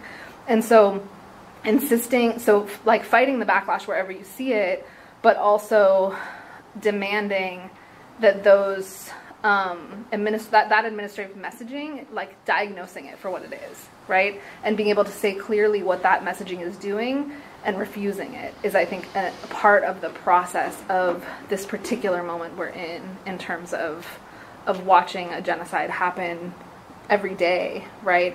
And refusing to be either desensitized to it or um, explain it away or turn away from it, right? And instead insisting that, that the analysis of not only the genocide, but also the analysis of all of the kinds of like reporting, all of the racist descriptions of Palestinians everywhere is is part of what we do in our classrooms in terms of analyzing rhetoric, in terms of analyzing representational practice, in terms of analyzing the media. I Yeah. add a little bit? Um, Maybe we could make these into closing remarks, so like. Yeah, maybe yeah. you Yeah. Maybe yeah, we'll fold this into uh, closing remarks from you guys. I think that was uh, good, Jennifer, to have uh, wrapped up some of your other uh, concerns as well. So yeah, CJ. Well, first of all, I, sh- I share your what I interpret as profound disdain for the for the, the condemnation of, of the blocking at the intersection. First of all, as if this campus was accessible to begin with, as if it's not the hilliest fucking place in the universe, you know, as if anybody could could roll a wheelchair up Empire Grade. Um, second of all, uh, sort of just the the tone deafness, right? blockading uh, non-essential goods for what about three hours is fine is, is terrible. Uh, blockading everything for what you know years decades. Um, oh and also blowing up a bunch of people. Well that's okay. And if you say otherwise it's too political. Um, as far as social media it's very popular right in the left to kind of be dismissive of social media. You know you're not truly politically involved if you're not on the streets. I think that's true. I think you should get out on the streets. But i also think as you said, it's undeniable that social media plays a role, and I think it's been valuable here. Um, why are people beginning to break out of this, what I call the mind trap of the two state solution? Why are people beginning to again realize that imagining a democratic, secular, united world and a democratic, secular, united Palestine is possible, that it is not anti Semitic to say there need not be an Israel? Um, because they can hop on their phone and take a look at Palestine, right? Um, um, they can do it very easily. I could do it right now. Uh, I think that's huge. I think that's colossal. I think it's a profound, you know, you use the phrase raw immediacy. I think that's a really good phrase. Um, because media has never had raw immediacy before. It's, I mean, it, it's still filtered, but it's, it's far less filtered than it's ever been in the past.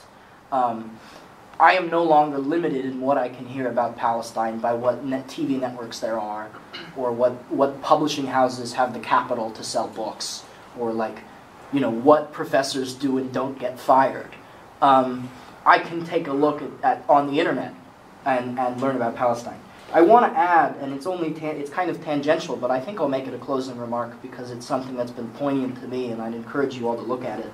Um, the thing that has more than anything else, I think, been valuable in kind of breaking people I know out of the pinkwashing element of of Israeli and Zionist propaganda. There's a wonderful website um, called Queering the Map, the purpose of which is that anyone anywhere in the world, and you know, anybody can do it. So you could make up bullshit, but most stories on it seem fairly credible. Can drop a pin on a map and and tell their story of experiencing queerness in the world. Um, and so we have this narrative, right, that there are only gay people in Israel, and there couldn't possibly be any gay people in Gaza because they would immediately magically destroy, be destroyed by the evil Islamic, you know, death laser. Um, you can go on this website and you can you can see hundreds and hundreds of data points in Gaza, and you can click on them, and you can read about how yes, of course, these people are impacted by Muslim homophobia. They don't live in paradise. Their neighbors are cruel to them, but you can also read again and again about you know, lesbians and gay men and transgender people who have had their loved ones taken from them by the occupation.